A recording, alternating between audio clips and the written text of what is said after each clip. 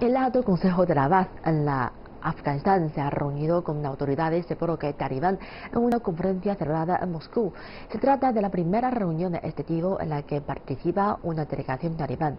El ministro ruso de Relaciones Exteriores, Sergei Lavrov, aplaudió la participación de ambas partes. Confiamos en que cada líder político no actúe guiado por sus intereses personales o colectivos, sino por los del pueblo afgano. Nos compadecemos por el prolongado sufrimiento de los afganos. Queremos hacer lo posible para abrir una nueva página en la historia de Afganistán a través de esfuerzos conjuntos.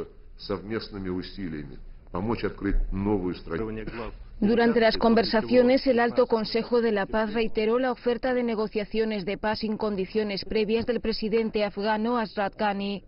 El bloque talibán había declarado que la conferencia no era para negociar con ninguna parte, sino para mantener unas conversaciones sobre cómo solucionar el conflicto y poner fin a la ocupación estadounidense.